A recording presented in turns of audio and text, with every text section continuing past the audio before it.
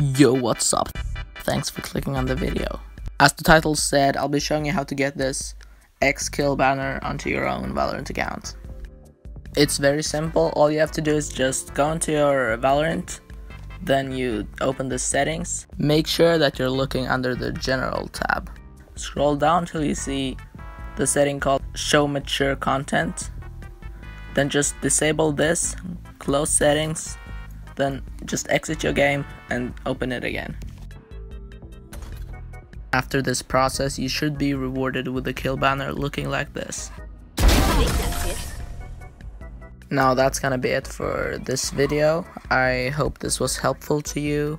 Feel free to subscribe to the channel and I'll see you later. Peace.